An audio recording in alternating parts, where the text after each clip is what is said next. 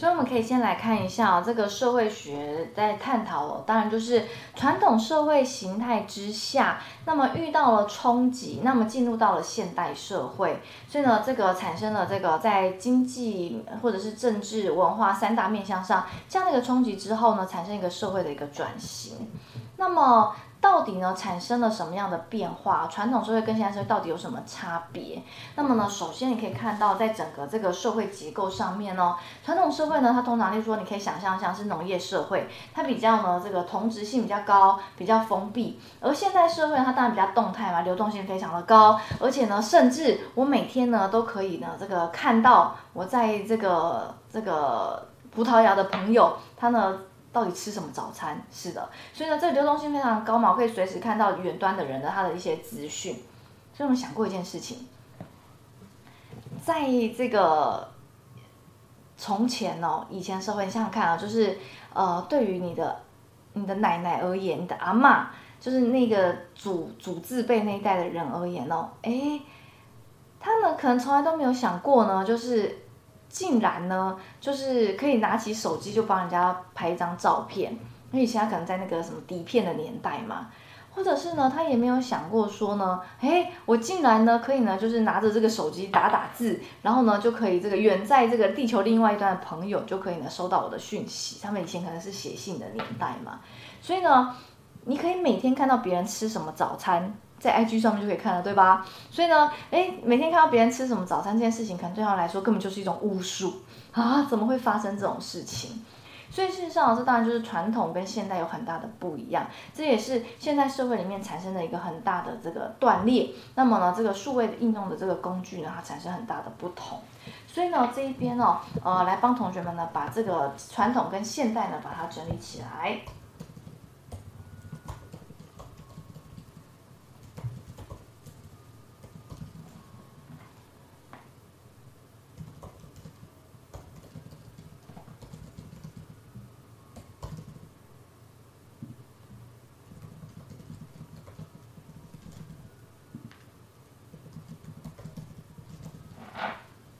这边呢有一个词，同学呢可以把它特别的留意起来，叫做非正式互动跟正式互动这两个词呢，它的意思哦，事实上它是这个社会学的用语。非正式互动，它其实指的就是比较容易是面对面的交流，这个叫做非正式互动。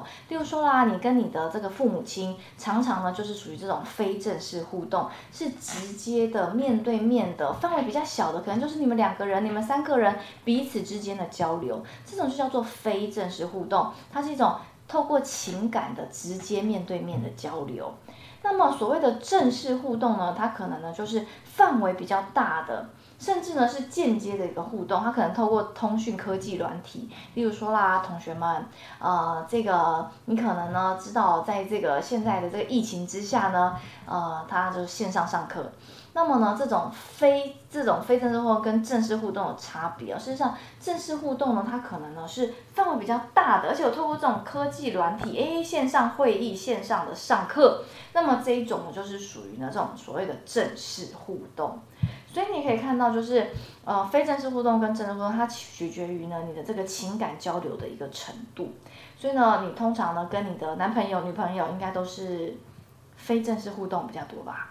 那么通常呢，跟你的家人呐，或者是你的亲密的人呐，就比较不会呢从事这种太多的正式互动，对吧？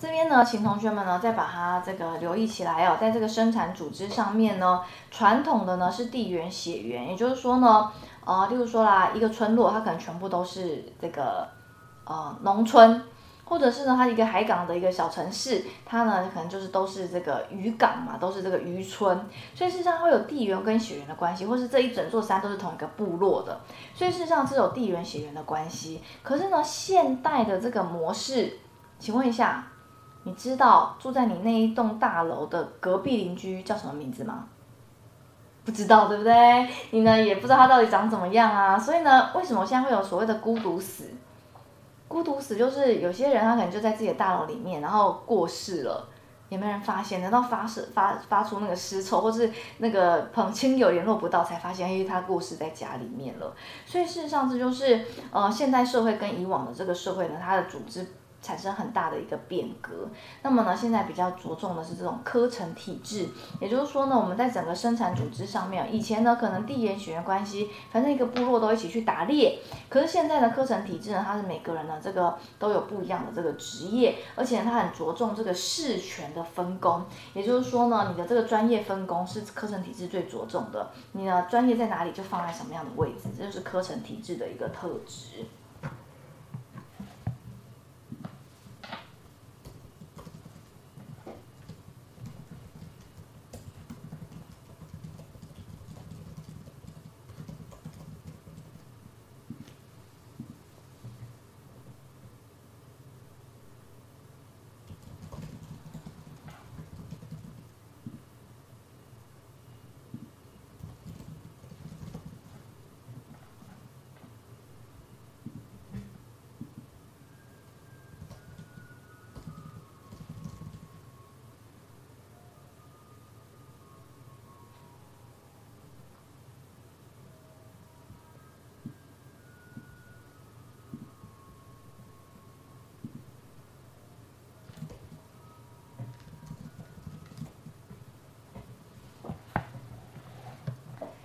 接下来这一边呢，再带同学们来看一下这个家庭的部分。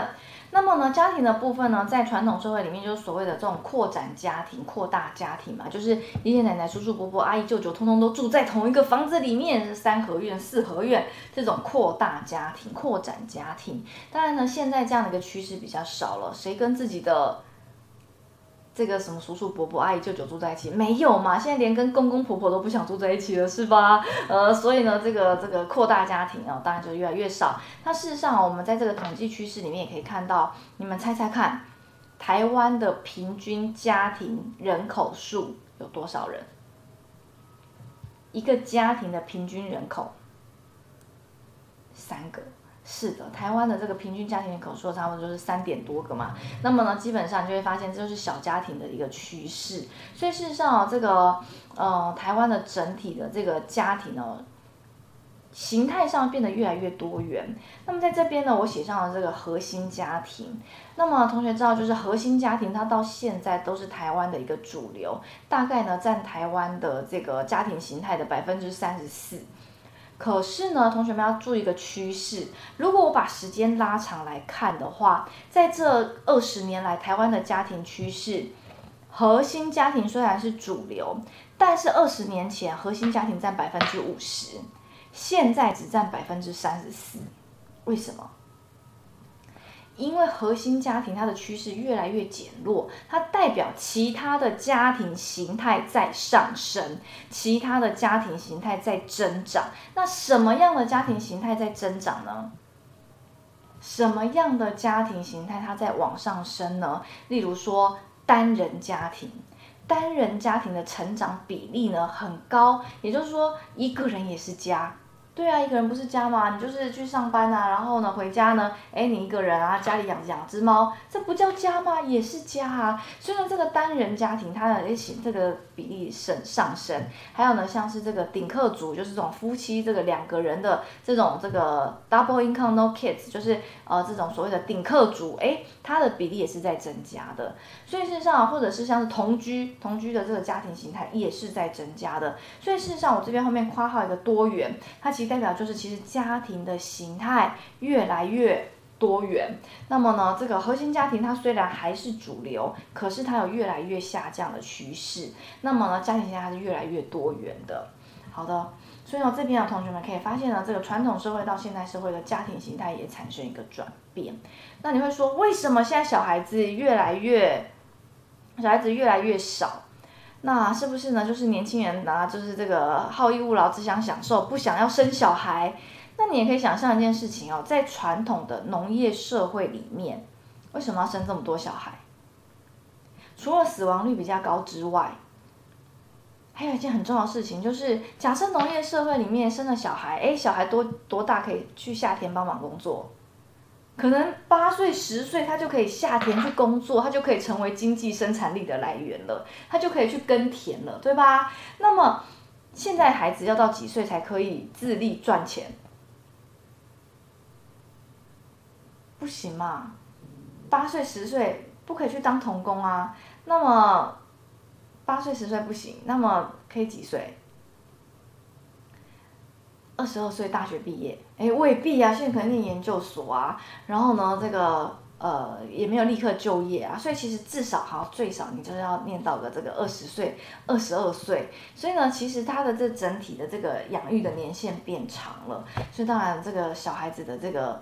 呃，小孩子的这个数量，哎，这个也是减少的，也是很重要其中的一个因素，不是吗？好的，所以呢，这边呢，我们先休息一下，然后等一下呢，我们再来把这个表格给完成，来做一个这个说明。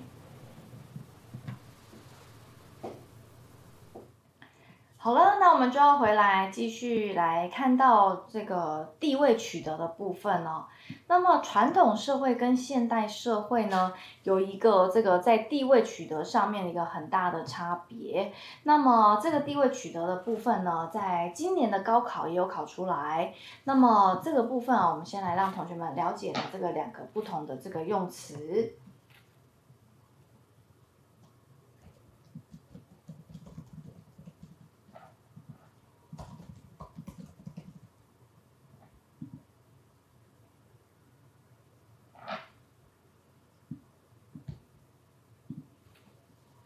这边呢，请同学们呢可以把它这个标起来哦。呃，它其实也是一个这个社会学的一个专有名词。那么呢，叫做归属地位跟成就地位。其实这些词我都会在后面再做更仔细的介绍，包含像家庭的部分啊，整个趋势啊，或者是这些地位。那么同学们只要先有个概念就可以了。好，所以呢，这个归属地位跟成就地位呢，到底是什么呢？首先呢，这个归属地位啊，它比较像是在传统的。地位的取得的一种方式，也就是说呢，你的地位的来源其实是来自于你的家庭背景。例如说啊，你有听过一句话叫做“他含着金汤匙出生”。什么叫做含着金汤匙出生呢？那么指的就是呢，诶，他天生家里就很有钱嘛，是这个贵族的这个的这个世家嘛。所以呢，这个所谓的这个家庭。背景哦，它就会决定你的身份地位。例如说啦，呃，在某些地方，它可能有一些氏族。例如说啦，这个陈姓，可能在呢这个姓陈，可能是在某些区域里面是大姓。那么呢，它可能就是一个这个当地的这个名门望族。所以事实上，你的家庭背景、你的姓氏、你的血缘，就决定了你的身份地位。这种就叫做。归属地位，这叫做呢，你天生与生俱来的，呃，获得的这个血缘的这样子，呃，天生而得到的一种地位，这种叫做归属地位。那么这种归属地位大多是来自于呢你的这个家庭背景。相对于归属地位呢，另外一个词呢叫做成就地位。什么叫做成就地位呢？它比较像是。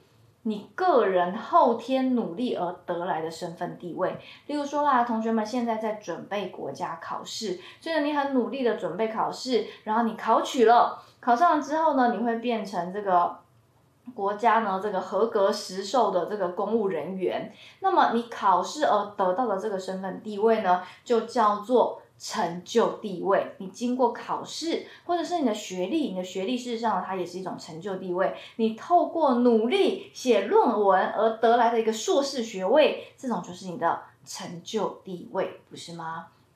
现在论文要很小心，对吧？呃，这个论文的这个议题哦，就是呢，好好写。同学，如果现在是研究生的话，论文呢要好好写，知道吗？啊，这个好好写论文。那么当然，这种就是，哎，你听，透过你的个人努力得来的这个呢，就叫做成就地位。所以你可以发现呢，在传统社会里面呢，比较强调就是你的归属地位，你你家是什么样的背景。那么在现代社会里面呢，哎，很强调的就是呢，哎，你透过你自己个人的努力，例如说啦，白手起家，而呢创立了这个红海集团，哎，像这样子的一种呢，就是这种所谓的成就地位。所以呢，事实上你可以看到，就是这个归属地位跟成就地位，它事实上也是传统社会到现代社会的一个差异。好，那么这个是地位的取得。那么接下来呢是这个价值观念的部分哦。在传统社会里面呢，比较强调的当然就是这个人情，或者是呢会强调的就是你的这个宿命，就是例如说啦，会跟你说啊，女人呢就是嫁鸡随鸡，嫁狗随狗，有没有听过这句话？什么叫做女人就要嫁鸡随鸡嫁狗随狗？如果呢，就是遇到那个什么家暴啊，这个传统的女人就会被说啦，你要以家庭为重啊，孩子还这么小啊，这个嫁鸡随鸡嫁狗随狗，这个忍一忍就过去了。有听过这种在传统社会里面发生的这样的事情，但是在现代社会里面呢，我们讲求的是。自由嘛，人是有身体自由的啊，呃，理性啊，自由、理性、平等，这是我们所追求的一个价值。所以呢，女人就该被打吗？女人呢就应该遇到家暴时候就要委曲求全吗？其实并不会。现在告诉你说呢，其实你可以打这个家暴专线，有很多的资源可以来协助你，而且呢，你不不不需要呢，就是这个忍气吞声。事实上呢，呃，你是有你自己的这个权利的。那么，呃。不用为了孩子委曲求全，你也是独立的个体，不是吗？所以事实上，就是传统社会到现代社会也会有这个价值观念上面的一个不同。那么再来呢，呃，在利益取向上面呢，是这个属于这个集体主义。而呢，在现代里面呢，讲求的讲究的是个人主义。例如说啦，在这个传统社会里面，可能会讲的就是某一个部落、某一个族群，那么整体的一个集体的利益。而现在社会呢，讲的是个人嘛，个人的这个每个人不同的这个想法，你的自我实现。那么在这个传统社会里面呢，当然也强调的是比较是权威式的，而现代社会里面呢，强调的是这个所谓的平等原则。所以呢，你也看以前的这个教育方式哦，父母亲呢可能会是这种哎打啊骂啊，或者是呢哎我说什么你就要听，或者是呢你也看有一些这个呃这个传统的这种家庭里面，他可能会说啦，这孩子是我生的，我就可以打他。有没有听过这句话？但事实上，现在社会里面我们讲求的是平等，没有任何一个人可以随意你打骂，你应该要尊重其他人，每个人都有自己的发展，自己的意志性。好，那么呢，在这个社会变迁里面呢，在传统社会里面是比较少的，因为比较封闭嘛。那么在现在社会里面，当然就是比较多、比较快的。你知道我们的社会变迁有多快吗？呃，因为呢，我有在那个行销系哦教书，就是在行销系里面当业师嘛，就是教一些数位行销。的一些这个概念，像商业摄影啊，或者是这个纪录片啊，或者是一些文案啊，数位媒材行销工具要怎么使用？那我教这些东西呢，其实我都会告诉同学说，你知道吗？其实呢，这些行销的工具是日新月异。例如说，我在教他们演算法，Google 的演算法，或者是呢，在教这个这个这个一些这个行销的这个素材的时候哦。我会告诉他们，你现在学会了，等到四年之后你毕业了，你到职场上你要去行销公司应征，你这些东西都过时了，都老旧了。对对，因为我有一间行销公司嘛，就是我们行销公司呢还得了就是经济部中小企业处的这个新创团队 G Camp 的这个奖项，然后呢，呃，得蛮多奖，各种奖。那当然呢，就是你可以看到，就是嗯。最大的一个问题就是这一些行销系毕业出来的学生，他们到公司来应征的时候，他可能四年前学的那些技能，他其实到四年后已经不能用了。那演算法都不一样了嘛，演算法日新月异嘛，或者是这个拍摄的工具器材其实都更新了，所以事实上这也是整体的社会变迁非常的快速。那么你必须要做的事情就是。如果你不想被这个社会淘汰，你就必须要一直保持着不断的帮自己更新的资讯，要一直更新。所以，即使我考上公务员之后，我也告诉我自己这件事情，因为我毕业之后的第一份工作就是在公家机关。大家知道，就是你知道我考上那个年代，事实上是录取率非常低的时候，因为那个经济不景气嘛，所以呢，这很多人很多人都去考公务员。那大家考上之后就会有另外就就就立刻有一个想法，就是哇，得到了铁饭碗、金饭碗，觉得这是一个永久的保障。可是我就告诉我自己，我不想要只会做公务员的事情，我希望我可以不断的保持自己学习的心态，不断的去更新自己。对，因为我就是个地毯搜寻控，我觉得我应该要像海绵一样吸收各种新知。那当然，像这样子的一个想法，就是的确，它跟整体的社会变迁的速率比起来，的确社会变迁是非常快速的。所以，当你停滞下来不去学习的时候，你就会发现这一切世界都在往前，只有你自己一个人在后面，对吧？所以，事实上，就是即使考上公务员了，也要保持一个心态，就是。你不要以为就是铁饭碗、金饭碗了，你还是要不断的去学习，因为你怎么知道未来的社会会不会裁掉公务员呢？你说不会啦，铁饭碗裁掉公务员就倒了。哎，那你看看一些这个呃意大利啊、希腊，哎，这个也是公务体系里面拖垮了整个国家的财政嘛。或者是你也可以看到，就是哎，台湾跟这个中国的议题，你怎么知道哪一天你会不会去北京上班？呃，总之呢，就是呃，就是保持自己有一个。第二技能，第二专长其实非常的重要。好的，这这个是这个心得分享，以后再跟同学们多做一点分享。好，那么呢，在这个个体差异里面呢，呃，当然就是传统社会同质性比较高，就例如说都农业社会嘛，大家都在这个农村工作。那么呢，这个现代社会呢，就是异质性比较高，一个社区里面大家都做不一样的工作。那么在社会控制哦，什么叫做社会控制？这边先帮我写上神圣性。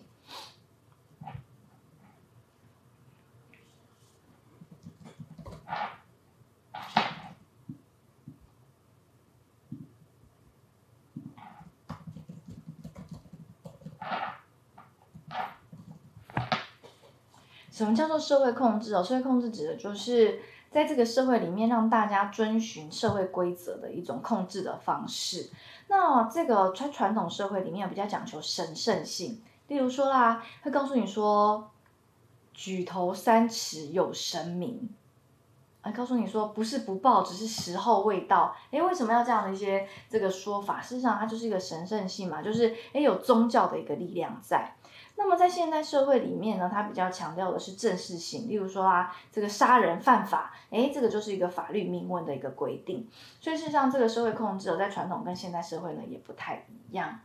好，那么呢，呃，这边呢，同学们可以看到，这个是传统社会到现代社会的一个差别，传统社会到现代社会的一个差异，帮同学们整理起来了。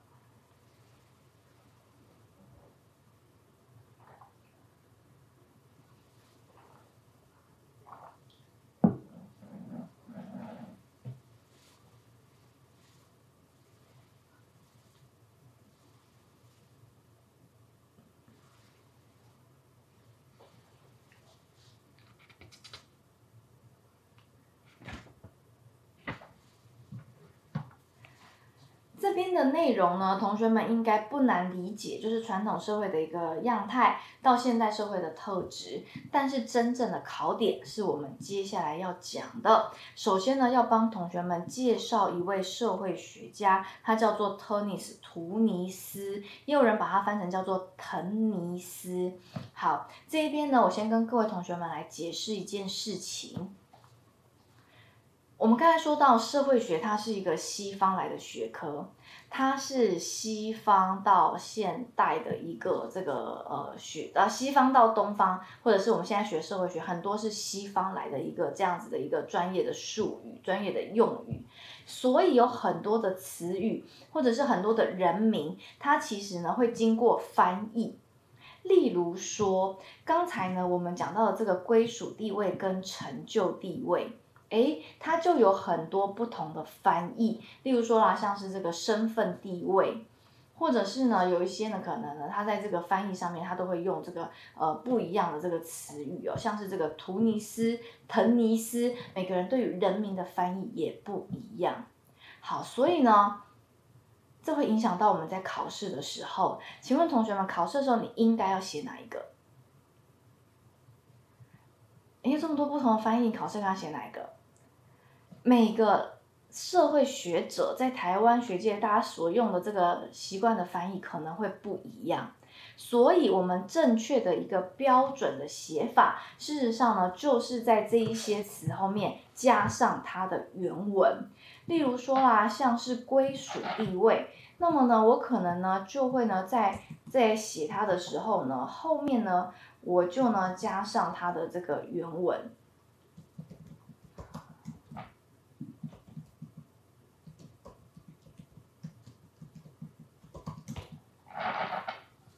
我加上它的原文呢，有几个好处。第一个呢，就是我的这个词呢，我就可以哎，让人家知道我在真正在陈述的这个词，它的原原本的这个词语是什么。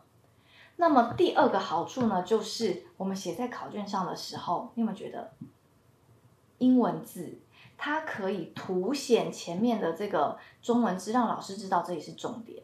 也就是说哦，你在考卷上有个小技巧，你后面附上原文的时候哦，其实呢，你就在凸显前面的这个字，前面的这个词，因为你看中文是方块字嘛，一格一格的，那么英文哦，这种就是这个拼起来的这样子的一个形态，完全不同的形态，它在这个一堆中文里面就看起来很明显，对吧？所以其实这就是变相在画重点，让老师知道哦，我了解这个概念。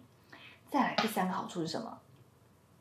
有没有发现，你光是写归属地位这个概念？这个词就占了这么长的版面，对吧？所以呢，很多人会说，我考卷都写不满呐，我考卷呢都没有办法写这么多，那是因为你不了解这个技巧。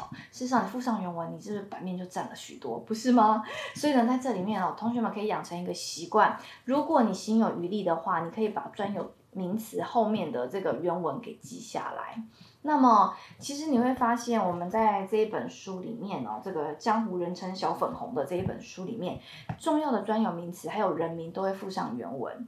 这是因为这是考卷，还有在学术上面的一个标准的写法，社会科学学术上的标准写法，以及在考卷上你也可以这样子使用，它会看起来让你觉得，让老师觉得你很专业，而且呢不会把这个词语混淆，而且它又可以很帮你占版面。所以呢，如果你心有余力，你可以做这件事情；如果你觉得你记不起来、背不起来、没办法理解的话，那你至少做到一件事情：当你。看到这一些词语的时候，你看到原文，你可以去想到它是什么词，它有什么翻译，你至少做到这件事情。因为在考试的时候，他可能会给你不同的翻译，因为不同的这个社会学的这个老师，他可能翻出不一样的词，但是不论他们翻什么，他们都会在后面附上原文。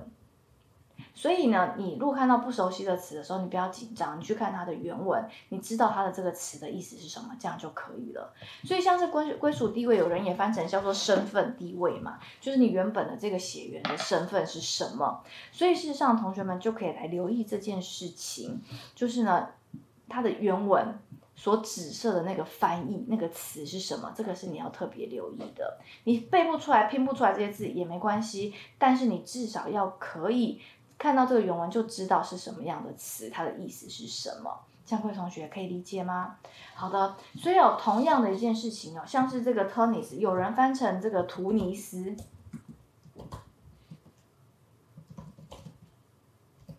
也有人翻成叫做腾尼斯。总之都是翻译的不同，所以你啊不用紧张，就是看原文哦，这个是 Tunis。好，那么为什么要讲到 Tunis 呢？因为我们前面呢讲了这个传统社会这么多不同的特性，还有现代社会呢跟这个传统社会这么多不同的差异。事实上呢，这个 Tunis 呢，他发现了原来传统社会跟现代社会，他思考到社会受到了这个这么大的冲击，所以呢产生了一种这个转变。那么他把这种传统的社会呢叫做社区体。或者是呢，叫做礼俗社会，而现代社会呢，它把它呢叫做社会体，或者是呢叫做法理社会。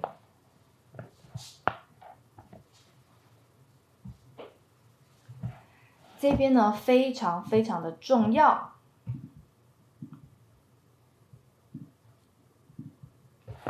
这边非常非常的重要，请同学们要特别留意。也就是说呢，特尼斯他发现啦，啊，传统的社会的人们哦，他就像是一个共同体一样。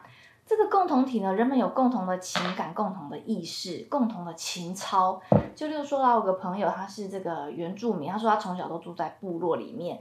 那么呢，他就是呃小学的时候数学考不好，他从来都没有不会被他爸妈打，因为呢，他说他从学校走回家，大家都已经知道他几分了，然后呢，大家都已经笑过他一轮了，所以他爸妈根本也不会骂他。所以基本上呢，在整个这个。部落里面呢，他们是有共同体的这种感受的，他们情感是一致的，意识是一致的。所以，他说呢，他们这个结婚的礼俗呢，这个要这个杀猪，然后呢，要这个呃，就是血鸡要遍布一个山头。那么他们认为这才是一个这个部落应该要有的一个这个庆典。所以你可以看到，就是这是一个共同体，一个共同的这个情感。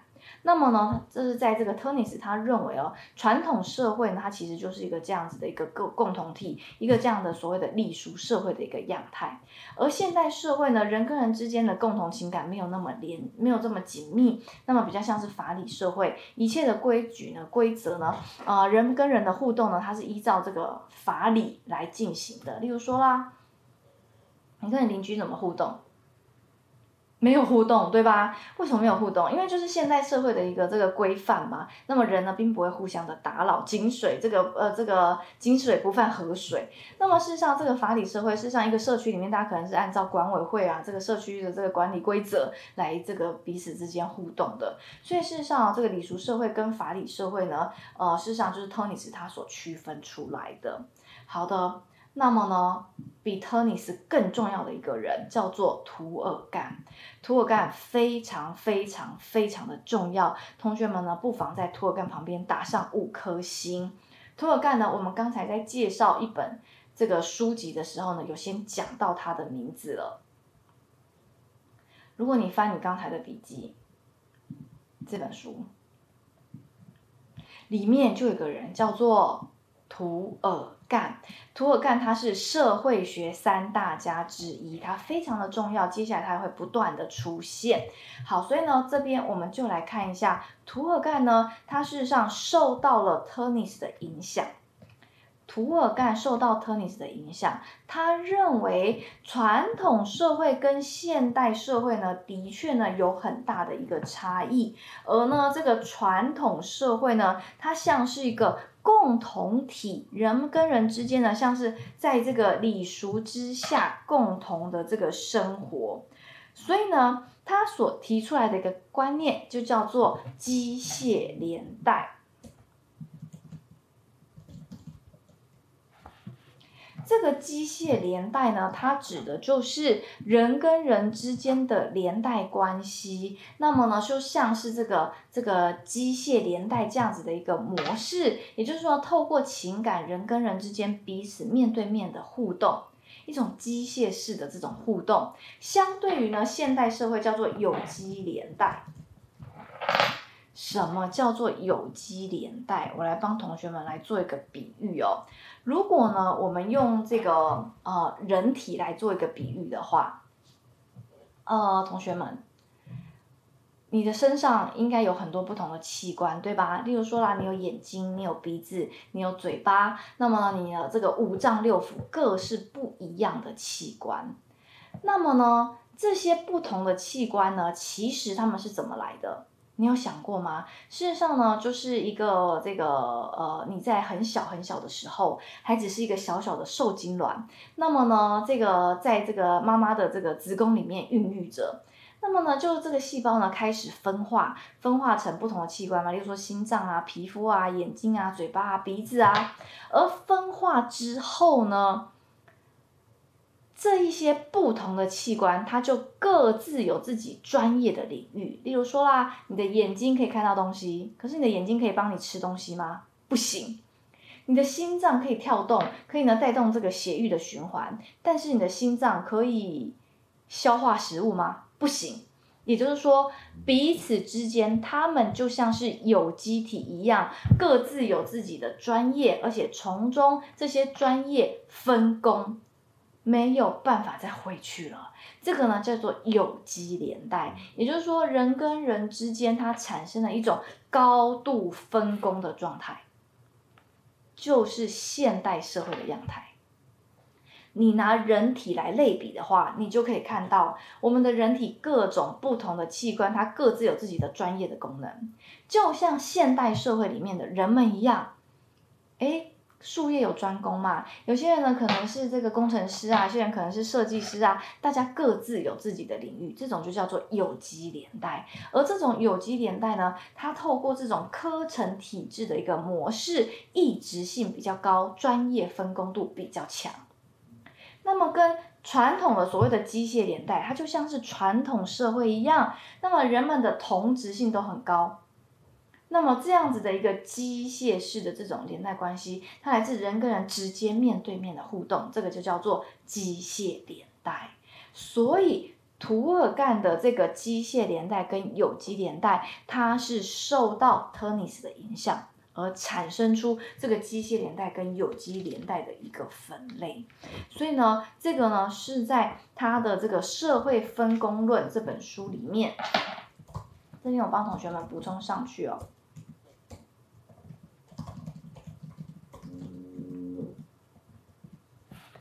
图尔干的《社会分工论》里面，他就提到这件事情：传统社会跟现代社会到底有什么差别？分工上的传差别，传统社会呢，这个呃分工没有这么明显，大家都在这个同一个社群里面。但是呢，这个呃现代社会它的这个分工高度的分化，就像人体一样，各自不同的器官有不同的功能，所以这里面呢就产生了一个。传统社会到现代社会的差别，就是从机械连带到有机连带，这里非常的重要，请同学们呢可以把它给画起来。所以呢，这个机械连带到有机连带上面的一个差别。好，所以呢，在这里面呢，我要带同学们回来看到我们的课本喽。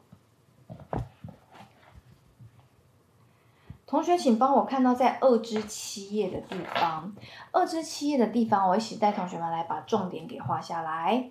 二至七页的地方呢，这个社会学家对传统与现代的一个解释。首先呢，这个在德国的社会学家图尼斯认为，人类社会生活中呢有两种主要的结合形式，一种叫做社区。就是我们刚才讲的传统社会，它是一个社区体、一个共同体的概念。那么呢，就是从血缘跟地缘而来的，透过这个隶书社会的一个样态。那么第二种呢，就是社会，社会帮我把它画起来，它呢就是这个法理社会的一个样态。好，而这样子的一个影响，影响到图尔干他提出的机械连带跟有机连带，这边第二点的地方，你帮我打上五颗星。机械连带跟有机连带很喜欢考。那么讲到这个传统社会到现代社会，甚至到后现代社会，现在网络社会都会用到这个连带来去做这个题、这个解题的切入。所以呢，这边请你打上五颗星。那么下面啊说，法国社会学家图尔干在其著作《社会分工论》画起来。他呢提出呢，社会呢有一定的向心力，把成员呢团结在一起。那么呢，原始的这种传统社会呢，就是所谓的机械连带。机械连带就是大家相似，同质性很高，职业啊、信仰啊，那么都很高的一个这个情况。那么呢，有机连带呢，它其实呢就是这个不一样的一个发展，人跟人之间的高度的分化、高度的分工，就像我们的人体一样，这个不同的器官无法取代，这个叫做有机连带。好的，那么还有第三个，第三个这个这个雷德菲尔德他。比较不常考，所以呢，同学们可以看过就好。那么它是乡民社会跟都市社会，也就是说，他把传统社会叫做乡民社会，现代社会的样态叫做都市社会。那么呢，呃，这个当然就是一样哦，是以这个传统到现代的一个雏形，那么去做的一个区分。好的，所以哦，在这里面呢，有几个重点要带同学们来看。传统社会到现代社会呢，它产生了一个很大的差别。主要的差别呢，在社会学的这个术语里面来说呢，就是从机械连带到有机连带。什么叫机械连带呢？就是人跟人之间的连接是直接面对面的情感，而有机连带呢？它是一种这个高度的分工分化的一个关系。好，所以呢，在这里面呢，这个表格呢，就帮同学们把它整理起来了。同学们并不只是要记起来这个传统跟现代的一个差异，同学们更要理解的是，社会学家给他的名字是什么？社会学家给他的语言是什么？也就是说，社会学家怎么样称呼传统的社会？就叫做机械连带到有机连带的一个过程，也就是传统的礼俗社会，而现代呢是属于法理社会的一个状态。所以呢，我请同学们啊一起来帮我看到呢，在这个课本上面的二至八页的地方。那么在二至八页的地方呢，这边呢有一本书叫做《共同体与社会》，所以呢，请同学们一起来帮我阅读这个小框框。二至八页的地方，这本书叫做《共同体与社会》，请同学们一起来阅读一下，给同学一分钟的时间。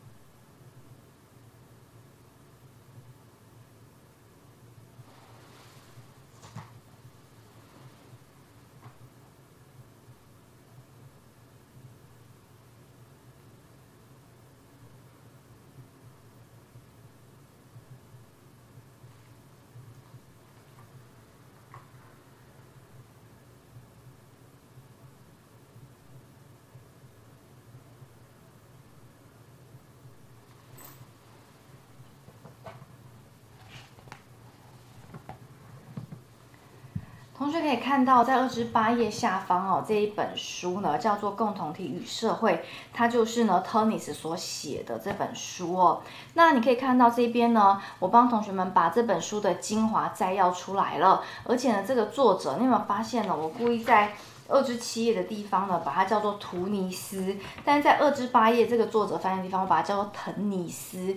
我要让同学们习惯一件事情，因为呢，这些人名还有很多专有名词，其实都是西方翻译过来的。所以呢，这些西方翻译过来的词，它在翻译上常常会有这种文字上、中文字上面的这个差别。